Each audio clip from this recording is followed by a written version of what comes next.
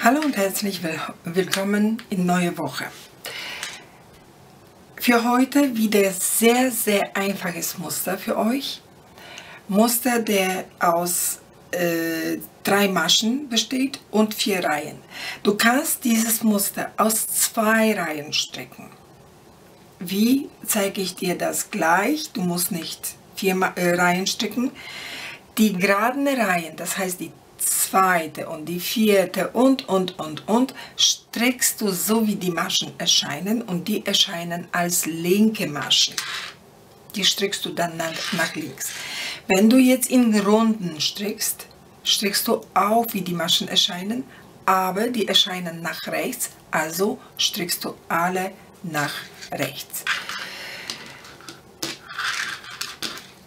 Viel muss ich zu diesem Muster nichts sagen. Ich habe natürlich keine Skizze, weil das ist, das wäre Blödsinn, wenn ich hier euch jetzt noch eine Skizze dazu gebe. Das ist wirklich kinderleicht und das würdest du sehen, wenn wir das jetzt zusammen stricken.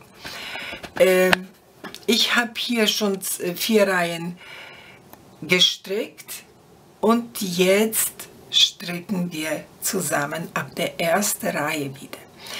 Die, die erste Masche ist die Randmasche, also Maschenzahl teilbar durch 3 plus zwei Randmaschen. Wenn du in Runden strickst, hast du keine Randmaschen. Die erste ist die Randmasche, dann die erste Masche stricken wir nach rechts. Die zwei nächsten Maschen da schieben wir verschränkt unsere rechte Stricknadel unter den zwei nächsten Maschen, holen den Faden, aber die zwei Maschen bleiben auf der linken Stricknadel. Jetzt die rechte Stricknadel schiebst du wieder unter der erste Masche, verschränkt, holst den Faden und erstmal jetzt die linke äh, Stricknadel rausschieben. Und das war's. Das war unser Rapport. Also, eine rechts, zwei verschränkt, aber die bleiben noch auf der linken Stricknadel. Dann die erste verschränkt. Und erstmal jetzt loslassen. Und wieder eine rechts, zwei verschränkt, erste verschränkt und die linke Stricknadel rausholen. Rechts zwei verschränkt, eine verschränkt und fertig. Und das Ganze noch einmal, eine rechts, zwei Maschen verschränkt, aber die bleiben auf der linken Stricknadel, eine verschränkt und jetzt die linke Stricknadel rausschieben. Und die linke Masche ist meine Randmasche. Dann wendest du die Arbeit, wenn du in Runden strickst, wendest du natürlich nicht die Arbeit, da strickst du alle Maschen rechts. Und wenn du mit zwei Stricknadeln strickst, strickst du alle Maschen in den geraden Reihen nach links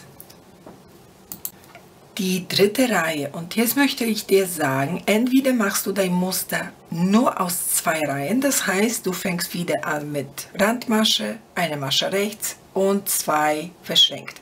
Oder du machst das so wie ich, das heißt, eine Masche ist die Randmasche.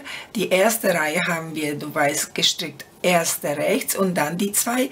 Und jetzt stricken wir die ersten als erste und wieder und loslassen. Eine rechts und wieder.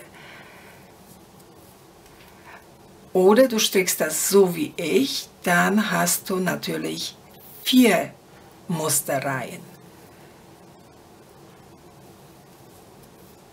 Und das Ganze wiederholst du.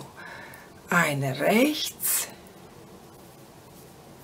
Ich verwende jetzt diese Muster. Ich stricke für mich ein ich wollte, ich weiß noch nicht, ich bin noch nicht so weit, aber ich glaube, ich würde mir ein, äh, ein Pullover mit kurzer Ärmel stricken und wenn das fertig ist, dann kann ich euch das zeigen.